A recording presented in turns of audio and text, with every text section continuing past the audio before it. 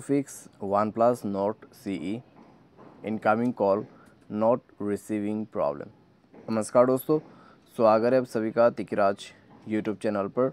तो दोस्तों, आज के इस वीडियो पर मैं आपको बताऊँगा कैसे आप जो है अपने वन प्लस के डिवाइस में incoming call not receiving problem solve कैसे कर सकते हैं। अगर दोस्तों इनकमिंग कॉल आप रिसीव नहीं कर पा रहे इनकमिंग कॉल के रिलेटेड कोई भी प्रॉब्लम हो रहा है तो इस वीडियो को आप अंत तक ज़रूर देखेगा मैं आपको कुछ सॉल्यूशंस यहाँ पे बताऊँगा और कुछ चीज़ें जो है आपको यहाँ पे बताऊँगा जो कि आपको ध्यान रखना होगा तो उसको फॉलो कर लीजिएगा, आपका प्रॉब्लम फिक्स हो जाएगा। वीडियो शुरू करने से पहले, अगर आपने चैनल को सब्सक्राइब नहीं किया है तो सब्सक्राइब करते हुए बेल आइकन को क्लिक करें। अगर आप ऑनलाइन पैसा कमाना चाहते हैं तो वीडियो डिस्क्रिप्शन पर आपको लिंक मिल जाएगा। किसी भी प्रॉब्लम के रिगार्डिंग पर आप हमें ट्विटर पे फॉलो करके मैसेज कर सकते हैं। तो चलिए दोस्तों वीडियो शुरू करते हैं। तो सबसे पहले आपको करना क्या है, अगर दोस्तों आपको इनकमिंग कॉल के रिलेटेड ठीक है, ऐसा प्रॉब्लम आ जाते हैं तो पहले तो मोबाइल की रिचार्ज वगैरह चेक कर ले और मोबाइल पे ये भी चेक करें कॉल सेटिंग पर जाइए थ्री डॉट्स में क्लिक कीजिए सेटिंग पर जाइए और ब्लॉक नंबर्स चेक कीजिए।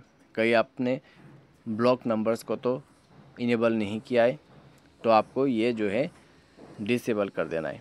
ठीक है, इसको डिसेबल कर देना है इस प्रकार से। अगर आप इनकमिंग कॉल रिसीव नहीं कर पा रहे, तभी आप इस चीज़ को फॉलो करना। ठीक है, सबसे पहले। तो ये सारे चीज़ें आपको ध्यान देना है और आपका रिचार्ज वगैरह चेक करना है। मोबाइल पे इनकमिंग होना चाहिए। मोबाइल को रिस्टार्ट करके चेक करके देख सकते। सिम कार्ड को इजेक्ट और इंसर्ट करके देख सकते। तो ये सारे प्रॉब्लम आपका फिक्स हो जाएगा। अगर इससे फिक्स हो जाता है प्रॉब्लम तो ठीक है, अगर नहीं होते तो वीडियो को अंत तक देख लेना। और और भी आपको सॉल्यूशन मिलता रहेगा इस वीडियो में। ठीक है? वीडियो शुरू करने से पहले चैनल को सब्सक्राइब करते हुए बेल आइकन को क्लिक ज़रूर से कर देना। तो चलिए दोस्तों वीडियो शुरू करते हैं। तो सबसे पहले चीज़, ठीक है, मैंने आपको ऑलरेडी बता दिया क्या क्या करना है। लेकिन अगर उससे काम नहीं बनते तो आपको क्या करना है?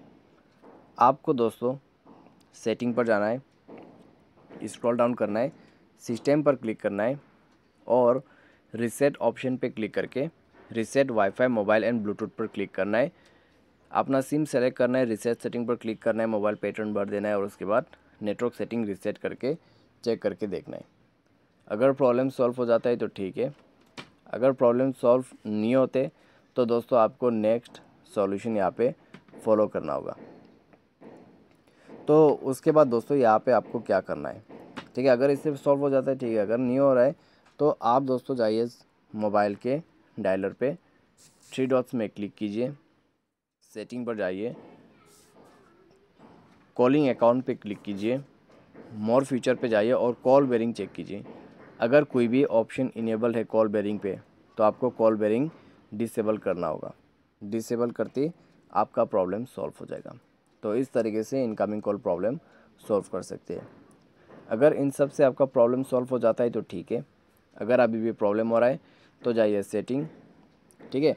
सेटिंग पे जाने से पहले प्ले स्टोर में जाइए, अपना फ़ोन सर्विस को अपडेट कीजिए।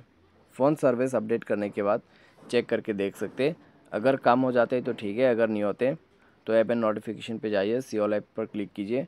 और अपना फ़ोन सर्विस सर्च कीजिए। उसके बाद दोस्तों आपको जाना है storage and cache clear storage okay कर देना, उसके बाद बेक कीजिए। बेक करने के बाद दोस्तों आपको परमिशन चेक करना है। सारे परमिशन इनेबल होना चाहिए और उसके बाद बैक कीजिए मोबाइल को रिस्टार्ट कीजिए और चेक करके देखिए। आपका प्रॉब्लम सॉल्व हो जाएगा।